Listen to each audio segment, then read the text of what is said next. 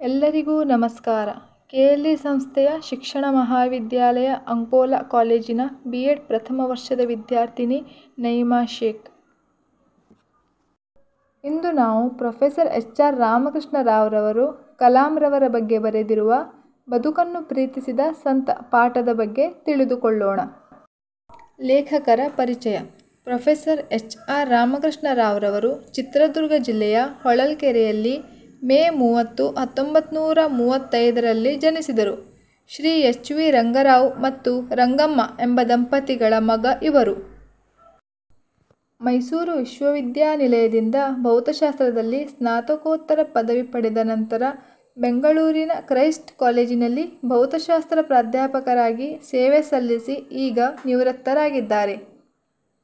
ಇವರ ಪ್ರಮುಖ ಕೃತಿಗಳೆಂದರೆ ಕಲಾಂ ಮೇಷ್ಟ್ರು sir Isaac Newton Chandrayaan, big bang, ಪ್ರಳಯ ಎರಡು ಸಾವಿರದ ಹನ್ನೆರಡು ಇತ್ಯಾದಿ. ಶ್ರೀಯುತರು ಕನ್ನಡ ಪುಸ್ತಕಾಭಿವೃದ್ಧಿ ಪ್ರಾಧಿಕಾರಕ್ಕಾಗಿ ರಚಿಸಿಕೊಟ್ಟಿರುವ ಕಲಾಂ ಮೇಷ್ಟ್ರು ಕೃತಿಯಿಂದ ಪ್ರಸ್ತುತ ಬದುಕನ್ನು ಪ್ರೀತಿಸಿದ ಸಂತ ಎಂಬ ಲೇಖನವನ್ನು ಸ್ವೀಕರಿಸಲಾಗಿದೆ. ಅಬ್ದುಲ್ ಕಲಾಂರವರ ಪೂರ್ಣ ಹೆಸರು ಅವುಲ್ ಫಕೀರ್ ಜೈನುಲಬ್ದೀನ್ ಅಬ್ದುಲ್ ಕಲಾಂ. ಅವರು ತಮಿಳುನಾಡು ರಾಜ್ಯದ ರಾಮೇಶ್ವರಂನಲ್ಲಿ ಹದಿನೈದು ಅಕ್ಟೋಬರ್ ಹತ್ತೊಂಬತ್ತು ನೂರ ಮೂವತ್ತೊಂದರಂದು ತಮಿಳು ಮುಸ್ಲಿಂ ಕುಟುಂಬದಲ್ಲಿ ಜನಿಸಿದರು. ಅವರ ತಂದೆ ಹೆಸರು ಜೈನುಲಬ್ದಿನ್. ಅವರು ದೋಣಿ ಮಾಲೀಕರಾಗಿದ್ದರು. ತಾಯಿ ಆಶಿಮಾ ಗೃಹಿಣಿಯಾಗಿದ್ದರು. ಕಲಾಂ ಅವರು ಕುಟುಂಬದ ನಾಲ್ಕು ಜನ ಸಹೋದರರು ಮತ್ತು ಒಬ್ಬ ಸಹೋದರಿಯಲ್ಲಿ ಅತ್ಯಂತ ಕಿರಿಯರಾಗಿದ್ದರು. ಅವರು ಬಡ ಹಿನ್ನೆಲೆಯಿಂದ ಬಂದವರು ಮತ್ತು ತನ್ನ ಕುಟುಂಬಕ್ಕೆ ಆರ್ಥಿಕವಾಗಿ ಬೆಂಬಲಿಸುವ ಸಲುವಾಗಿ ಕಿರಿಯ ವಯಸ್ಸಿನಲ್ಲೇ ಕೆಲಸ ಆರಂಭಿಸಿದರು. ತಮ್ಮ ತಂದೆಗೆ ಆರ್ಥಿಕವಾಗಿ ಸಹಾಯ ಮಾಡಲು ಅವರು ಶಾಲೆಯ ನಂತರ ತಮ್ಮ ಶಂಶುದ್ದೀನ್ ಕಲಾಂ ಜೊತೆಗೆ ಪತ್ರಿಕೆಗಳನ್ನು ವಿತರಣೆ ಮಾಡುತ್ತಿದ್ದರು. ಇವರ ಬಾಲ್ಯವು ಬಹಳ ಬಡತನದಿಂದ ಕೂಡಿತ್ತು. ಹತ್ತೊಂಬತ್ತು ನೂರ ಅರವತ್ತರಲ್ಲಿ ಮದ್ರಾಸ್ ತಾಂತ್ರಿಕ ಮಹಾವಿದ್ಯಾಲಯದಿಂದ ಪದವಿ ಪಡೆದ ನಂತರ ಕಲಾಂ ಅವರು ರಕ್ಷಣಾ ಸಂಶೋಧನೆ ಮತ್ತು ಅಭಿವೃದ್ಧಿ ಸಂಸ್ಥೆಯ ವಾಯುಮಾನ ವಿಜ್ಞಾನ ಅಭಿವೃದ್ಧಿ ವಿಭಾಗಕ್ಕೆ ಒಬ್ಬ ವಿಜ್ಞಾನಿಯಾಗಿ ಸೇರಿಕೊಂಡರು. ಅಲ್ಲಿ ಅವರು ತಮ್ಮ ವೃತ್ತಿ ಜೀವನದ ಪ್ರಾರಂಭದಲ್ಲಿ ಭಾರತದ ಭೂಸೇನೆಗೆ ಸಣ್ಣ ಹೆಲಿಕಾಪ್ಟರ್ಗಳನ್ನು ವಿನ್ಯಾಸ ಮಾಡುತ್ತಿದ್ದರು. ಆದರೆ ಅವರಿಗೆ ತಾವು ಡಿ ಆರ್ ಆಯುಕ್ತಗೊಂಡ ಕೆಲಸದ ಬಗ್ಗೆ ಅಸಮಾಧಾನ ಇತ್ತು.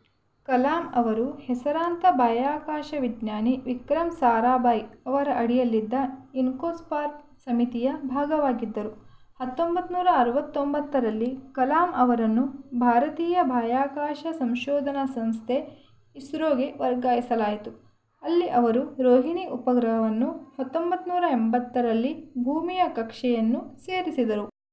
ಭಾರತದ ಮೊದಲ ಉಪಗ್ರಹ ಉಡಾವಣಾ ವಾಹನ ಎಸ್ ಎಲ್ ವಿ ಮೂರರ ಯೋಜನಾ ನಿರ್ದೇಶಕರಾದರು. ಹತ್ತೊಂಬತ್ತು ನೂರ ಅರವತ್ತೈದರಲ್ಲಿಯೇ ಕಲಾಂ ಅವರು ವಿಸ್ತರಿಸಬಲ್ಲ ರಾಕೆಟ್ ಯೋಜನೆಯನ್ನು ಪ್ರತ್ಯೇಕವಾಗಿ ಆರಂಭಿಸಿದರು. ಹತ್ತೊಂಬತ್ತು ನೂರ ಅರವತ್ತೊಂಬತ್ತರಲ್ಲಿ ಈ ಯೋಜನೆಗೆ ಸರ್ಕಾರ ಒಪ್ಪಿಗೆ ನೀಡಿತು. ಅವರು ಆಗ ಈ ಯೋಜನೆಯನ್ನು ವಿಸ್ತರಿಸಿ ಹಲವು ಇಂಜಿನಿಯರ್ಗಳನ್ನು ಈ ಯೋಜನೆಗೆ ಸೇರಿಸಿಕೊಂಡರು. ಕಲಾಂರವರು ಭಾರತದ ಹನ್ನೊಂದನೇ ರಾಷ್ಟ್ರಪತಿಯಾಗಿ ಸೇವೆ ಸಲ್ಲಿಸಿದರು. ಎರಡು ಸಾವಿರದ ಎರಡರ ರಾಷ್ಟ್ರಪತಿ ಚುನಾವಣೆಯಲ್ಲಿ ಲಕ್ಷ್ಮೀ ಸೆಹಗಲ್ ವಿರುದ್ಧ ಒಂದು ಲಕ್ಷದ ಏಳು ಸಾವಿರದ ಮುನ್ನೂರ ಅರವತ್ತಾರು ಮತಗಳ ಮುನ್ನಡೆಯಲ್ಲಿ ಗೆದ್ದರು. ಇಪ್ಪತ್ತೈದು ಜುಲೈ ಎರಡು ಸಾವಿರದ ಎರಡರಿಂದ ಇಪ್ಪತ್ತೈದು ಜುಲೈ ಎರಡು ಸಾವಿರದ ಏಳರವರೆಗೆ ರಾಷ್ಟ್ರಪತಿಯಾಗಿ ಸೇವೆ ಸಲ್ಲಿಸಿದರು. ಸರಳತೆ, ಪ್ರಾಮಾಣಿಕತೆ ಮತ್ತು ಮೇಧಾವಿತನದ ಸಾಕಾರದಂತಿರುವ ಕಲಾಂ ಅವರು ರಾಷ್ಟ್ರಪತಿ ಹುದ್ದೆಯ ಘನತೆಯನ್ನು ಹೆಚ್ಚಿಸಿದರು. ಜನಸಾಮಾನ್ಯರ ರಾಷ್ಟ್ರಪತಿ ಎಂಬ ಕೀರ್ತಿಗೆ ಪಾತ್ರರಾದರು. ಸ್ವತಃ ಬ್ರಹ್ಮಚಾರಿ ಆ ದೇವರಿಗೆ ಮಕ್ಕಳೆಂದರೆ ಬಹು ಪ್ರೀತಿ. ಮಕ್ಕಳೊಂದಿಗೆ ಬೆರೆತು ಉಪಯುಕ್ತ ಸಲಹೆ ಸೂಚನೆ ನೀಡುವುದು ಇವರ ಪ್ರಿಯ ಹವ್ಯಾಸವಾಗಿತ್ತು. ಅಧ್ಯಕ್ಷರಾದ ತರುವಾಯ ಲಕ್ಷಾಂತರ ಮಕ್ಕಳನ್ನು ಅಬ್ದುಲ್ ಕಲಾಂರವರು ಭೇಟಿ ಮಾಡಿದ್ದಾರೆ. ಬಡವರಾಗಿರಲಿ ಅಥವಾ ಶ್ರೀಮಂತರಾಗಿರಲಿ, ಎಲ್ಲ ಮಕ್ಕಳ ಕನಸು ಒಂದೇ. ಅವರೆಲ್ಲರೂ ಶಾಂತಿ, ಸಮೃದ್ಧಿ ಮತ್ತು ಸುಭದ್ರ ಭಾರತದಲ್ಲಿ ಬದುಕ ಬಯಸುತ್ತಾರೆ ಎಂದು ಕಲಾಂರವರು ಹೇಳುತ್ತಿದ್ದರು. ಮಕ್ಕಳಿಗೆ ಅವರು ಯಾವಾಗಲೂ ಹೇಳುತ್ತಿದ್ದುದು ಒಂದೇ ಮಾತು, ಎಲ್ಲವನ್ನೂ ಪ್ರಶ್ನಿಸಿ, ಪ್ರಶ್ನೆಗಳಿಂದ ವಿಕಾಸಗೊಂಡದ್ದೇ ವಿಜ್ಞಾನ. ನಾವು ಮೊದಲು ಕ್ಷಿಪಣಿ ತಯಾರಿಸುತ್ತೇವೆ ಎಂದಾಗ ಅನೇಕರು ಅದು ಅಸಾಧ್ಯವಾದದ್ದು ಎಂದಿದ್ದರು. ನಾವು ಪಟ್ಟು ಹಿಡಿದು ಗುರಿ ಸಾಧಿಸಿದೆವು ಎಂದು ಕಲಾಂ ಅವರು ಹೇಳುತ್ತಿದ್ದರು. ಅವರ ಮಾತಿನಲ್ಲಿದ್ದ ದೃಢತೆ ಕಳಕಳಿಯಿಂದಾಗಿ ಅವು ಮಕ್ಕಳ ಮನಸ್ಸಿನಲ್ಲಿ ನಾಟುತ್ತಿದ್ದವು. ರಾಷ್ಟ್ರಪತಿ ಹುದ್ದೆಯಿಂದ ವಿರಮಿಸಿದ ಅನಂತರವೂ ಇವರು ಜನಪ್ರಿಯ ಧುರೀಣರು ಮತ್ತು ವಿಜ್ಞಾನಿಯಾಗಿ ಕಂಗೊಳಿಸುತ್ತಿದ್ದರು. ಇವರು ತಮ್ಮ ಕ್ಷೇತ್ರಕ್ಕೆ ಸಂಬಂಧಿಸಿದಂತೆ ಹತ್ತಾರು ಗ್ರಂಥಗಳನ್ನು ರಚಿಸಿದ್ದಾರೆ. ವಿಂಗ್ಸ್ ಆಫ್ ಫೈರ್ ಎಂಬುದು ಇವರ ಆತ್ಮಕಥೆ ಇವರು ತಮ್ಮ ಇಂಡಿಯಾ ಮೈ ಡ್ರೀಮ್ ಹಾಗೂ ಇಂಡಿಯಾ ಎರಡು ಸಾವಿರದ ಇಪ್ಪತ್ತು ಎಂಬ ಗ್ರಂಥಗಳಲ್ಲಿ ಭವ್ಯ ಭಾರತ ನಿರ್ಮಾಣದ ಬಗ್ಗೆ ರೂಪುರೇಷೆಗಳನ್ನು ಹಾಕಿಕೊಟ್ಟಿದ್ದಾರೆ.